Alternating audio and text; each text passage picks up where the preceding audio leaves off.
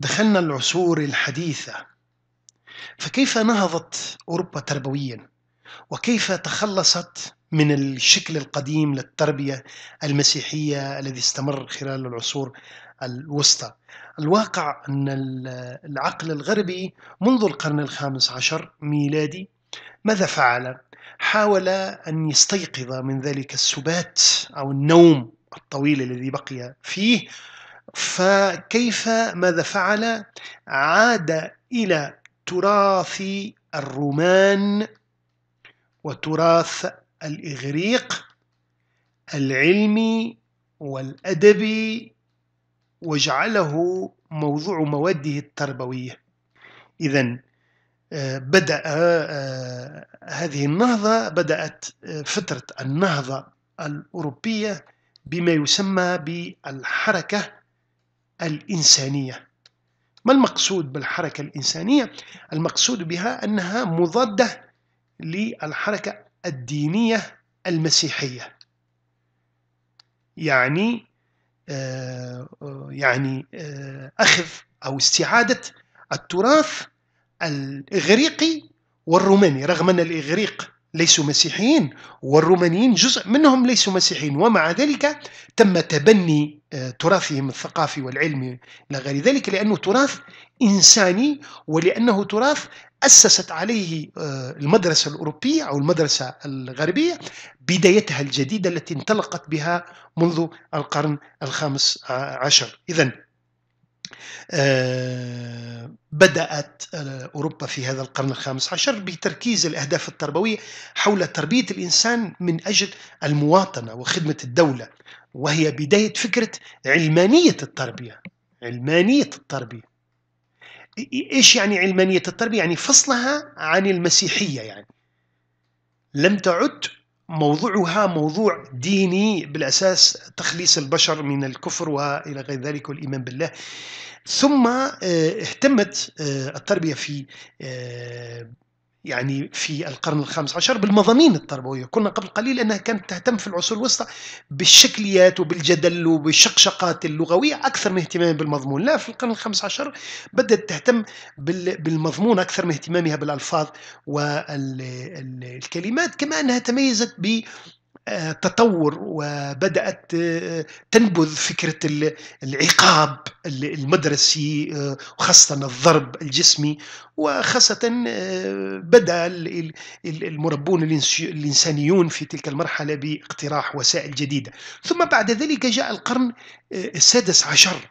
في القرن السادس عشر ظهرت حركة في أوروبا مهمة جدا أثرت في التربية في أوروبا هي حركة الحركة اللوثرية لوثر أو حركة الإصلاح الديني وهي حركة آه، يعني آه، كيف يمكن أن نصفها؟ يعني حركة آه، أوقفت الحروب الدينية التي كانت متطحنة في أوروبا والتي أدت إلى تقاتل رهيب جدا وإلى جرائم بشعة وإلى غير ذلك. ف يعني تم الاتفاق وكأنه بشكل ما بأن الدين لله هو الوطن للجميع. يعني حرية الضمير وحرية العقيدة لابد أن تكون مسألة شخصية. من هنا جاءت حركة الإصلاح الديني وأخرجت فكرة أن من يختلف معي آه، في العقيدة سواء كان أرثوذكسي أو كاثوليكي أو بروتستانتي وهي المذاهب الأساسية للمسيحية هو بالضرورة ينبغي قتاله لأنه آه، يعني مرتد أو لأنه مشرك أو لأنه في المسيحية. فسوت هذه القضية وحسمت هذه القضية ودفعت الناس إلى حرية الاعتقاد في بهذه المذاهب وبالتالي آه، سمحت بدرجة كبيرة من الحرية فانعكس ذلك على التفكير وانعكس ذلك على التربية وصار هناك مساحة كبيرة من من من الحرية في التربية. آه، كذلك في هذا العصر ظهور الطابعة تم اختراع الطابعة وكان ذلك في ألمانيا تأثرت التربية بشكل كبير جدا بهذه بهذا الاختراع العظيم آه، وهو الطابعة. ثم كذلك في هذه في هذا القرن ظهرت فكرة التعليم الشامل والإلزامي لأبناء المجتمع. وكانت ألمانيا أسبق من غيرها في جعل التعليم الأولي آه، عاما والزاميا للجنسين منذ 1556 و65 عفوا ميلادي. في القرن السابع عشر الميلادي استمرت هذه الحركة من الإصلاحات التربوية وتطوير المدارس وبناء المدارس الحديثة وتكوين المعلمين المختصين وتأثر التربية بالنهضة العلمية لأن أوروبا دخلت في ما يسمى بالثورة العلمية الحديثة. الثورة العلمية الحديثة وهي أيضا تسمى بالثورة الكوبرنيكية كوبرنيكية الغاليلية نسبة إلى غاليلي آه، عالم الفيزياء الإيطالي ونسبة إلى نيكولاس كوبرنيك العالم البولوني الشهير. ثورة علمية في القرن السادس عشر والسابع عشر عظيمة جدا آه، وقلبت تصورنا لهذا العالم وأدت إلى ولادة علم الفيزياء الحديث وعلم الفلك الحديث والعلوم الحديثة بصورة عامة. فأثرت على المدارس وعلى التفكير وعلى المربين وعلى آه، تأثرهم بال, بال, بال تأثرهم بالعلوم الحديثة. تم اعتماد الطريقة العلمية التجريبية كأسلوب في البحث والتفكير ثم اتجهت التربية في هذا العصر السابع عشر نحو الواقعية آه، أكثر وتجنبت الجانب النظري و آه، آه، يعني لم تتوقف فقط عن الآداب والعلوم التقليدية.